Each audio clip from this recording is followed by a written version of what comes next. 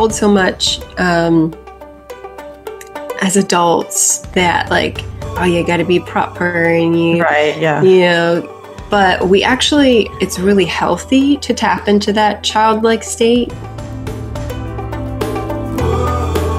And sometimes when we need to say talk about those blocks, sometimes those blocks come from our childhood. Mm-hmm. And so sometimes we need to be silly and tap into some of those past events and things to, to work through them, those past emotions.